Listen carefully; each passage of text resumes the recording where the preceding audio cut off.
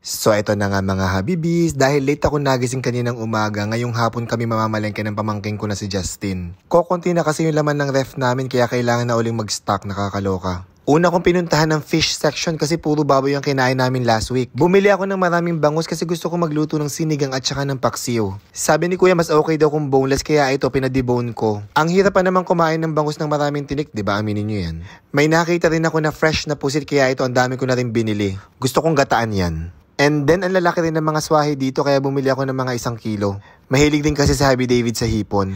Tapos pinuntahan ko yung suki ko na si Nana, yung binibilhan ko madalas ng mga sibuyas, bawang at saka mga gulay. At yung katapat naman niya, bilihan ng itlog, dito rin ako madalas namimili. Bumili ako ng isang tray. Pag uwi namin ng bahay, pinayos ko na kay Justin yung aming mga pinamili. Ang dami ko rin palang biniling gulay. Gusto ko magluto ng upo, ampalaya at saka yung iba pang sinigang. May hosting gig pala si Happy David ngayon kaya hindi namin siya kasapi pagkain ng dinner. Ang lulutuin ko pala for dinner ay sinigang sa miso na bangus. Kaso wala akong nabili na miso kaya yung powder lang ang gagamitin ko. Nag-prepare na ako ng mga ingredients ko para dire-diretso na yung pagluluto ko mamaya. At ang una kong ginawa is ginisa ko yung luya sa mantika tapos nagisa na rin ako ng bawang at saka ng sibuyas. And then next ko naman ginisa ang kamatis. Ang liliit pala ng kamatis na nabili ko, nakakaloka. Tapos, iniligay ko na yung mga boneless bangus at lulutuin ko lang yan for a few minutes. Sabi pala ni Kuya sa palengke, ilagay ko daw yung atay ng bangus sa sinigang kasi masarap daw yun. Kaya ito, try natin kung talagang masarap. After 2 minutes, binaligtad ko yung bangus tapos niluto ko lang uli for another 2 minutes. And then nilagyan ko na ng tubig para sa sabaw. Tapos inintay ko lang kumulo at nung kumulo na, tsaka ko naman iniligay yung ating sinigang sa miso na powder. First time kong gumamit ng powder na to, in fairness, masarap siya ha. Naglagay muna ako ng isang maliit na powder mix, tapos nung tinikman ko, parang nakulangan ako sa asim, kaya nagdagdag pa ako ng isang maliit. At in fairness sa powder mix na to ha, hindi na kailangan lagyan ng patis or asin kasi tama na yung alat at saka asim niya. At nung okay na sa akin, iniligay ko naman yung mga gulay, naglagay ako ng labanos, okra at saka ng talong. Tinakpan ko at niluto ko lang itong mga gulay na to at nung okay na, tsaka ko namang last inilagay yung kangkong and then pinatay ko na yung apoy niyan. At eto na nga, luto na ang ating sinigang sa miso na boneless bangus. Naghain na ako at tinawag ko na si Justin para kumain. Justin, tikman mo. Sarap to for sure. Kung masarap ang ating sinigang na bangus sa miso, boneless bangus. My God. Actually, first time kong gumamit ng sinigang sa miso. Sarap to. Mm, parang ang sarap. Yung sa bako, parang masarap. Meron na yun. Yan. Mm, tikman mo lang muna.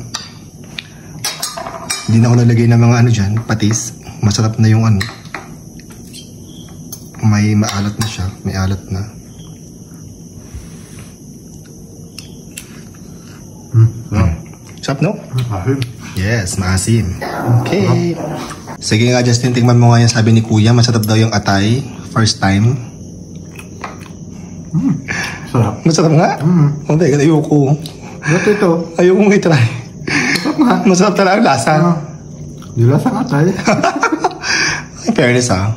Mm. Fairness, masarap nga naman sabi ni Kuya. Mm. Sarap.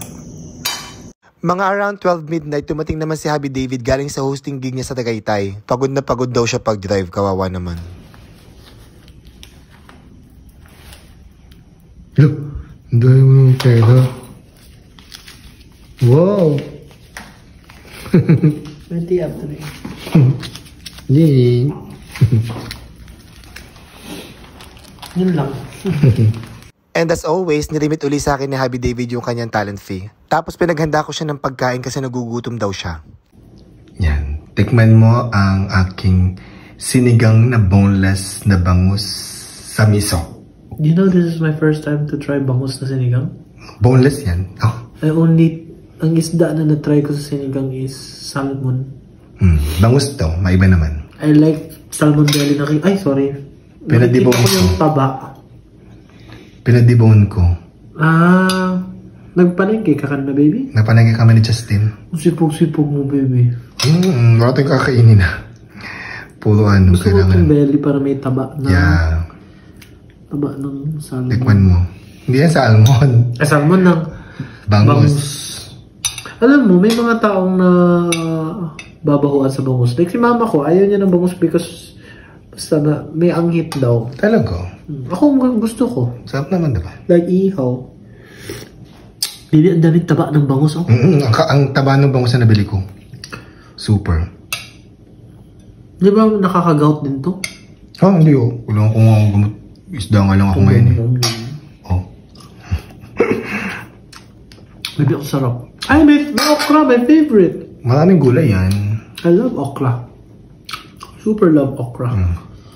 Sa akin, okay na nabili ko fresh, hindi siya magulang. Parang sobra. Ano sobra? Sobra yung pagmamahal mo sa akin. Oh? Kiss na! Hello? Sarap, baby. Thank you. Love you. And, pagod na pagod ka, kaya kumain ka na marami. Super pagod ako. Kawa ka. Mhm.